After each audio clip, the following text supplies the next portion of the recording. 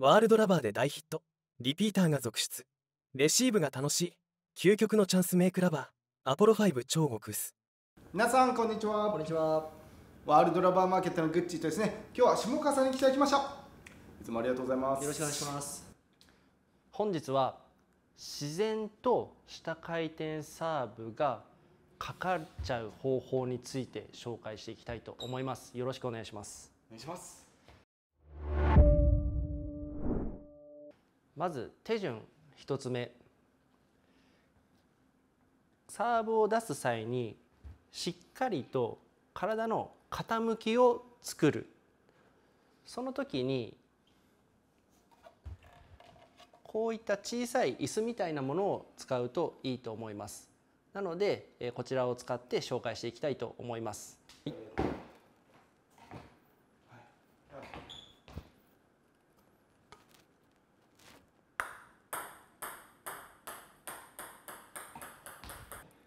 はい OK もう一回振ってください。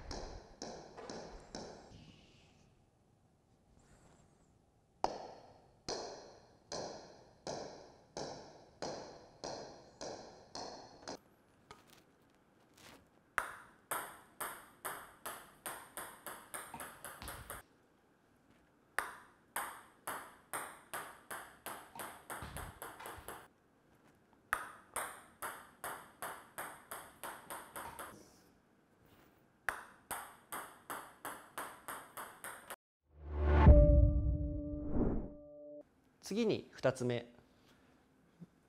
まあ相手コートに入れないといけないのでこの自分の出したサーブの第1バウンド。で基本的にこの下回転サーブっていうのは短いサーブ。相手コートで2バウンド以上するようなサーブ出したい人が多いと思いますので大体自分のコートの、え真ん中付近のところに第1バウンドを落としてあげると、えー2バウンド以上出るような下回転サーブが作られてくるかと思います。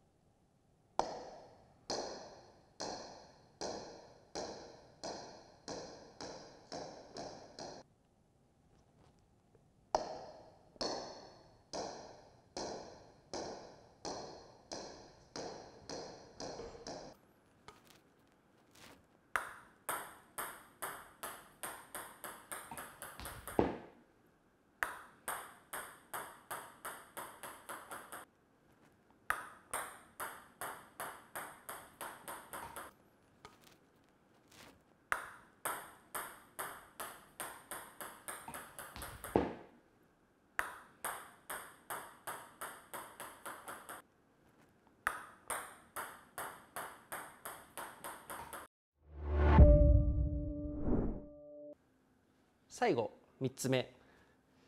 まあこういった先ほど紹介した椅子みたいなのを使って傾きを作ってもあの試合の時にはこれできませんのでこの傾きを作ったような感覚で最後出せるように、え1と2の手順を守って出すと下回転サーブが勝手にかかった自然に切れてる状態で出せるかと思います。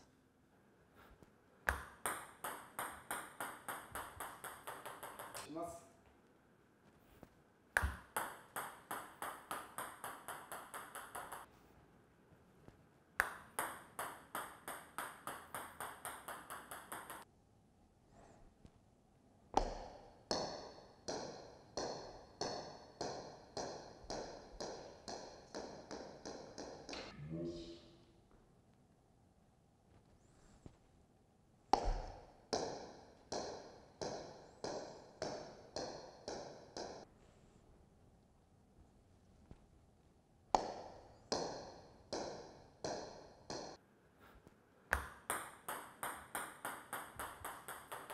します。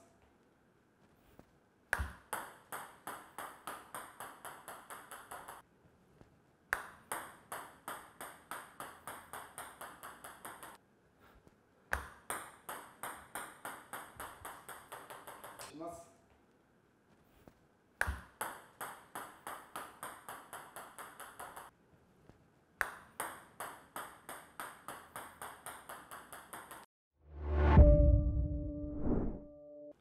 ぐちさんありがとうございました、まあ、今回この3ステップで下回転サーブが自然に切れちゃう勝手にかかっちゃう方法を紹介したんですけれどもやはりこうどうしても多いよく見受けられるのがどうしてもこう卓球台って相手コートに入れなきゃいけないのでこんな感じでこう押して前方向にどうしても置きに行きたくなって出してしまう。そうするとやっぱ回転が、かからない状態で出してしまう。かからない状態で一生懸命かけようとしてもやっぱり回転がかからないっていうことが起きてくるのでまずそのかかる状態っていうのをちゃんと知るちゃんとできた上でサーブをこうコントロールして出していくことが非常に重要になるかと思いますので、えーぜひ今回のえー3ステップ参考にしてみてください。ご視聴ありがとうございました。海外発送をスタート。世界228カ国にお届けします。詳細は概要欄をご覧ください。卓球で世界をつなげよう。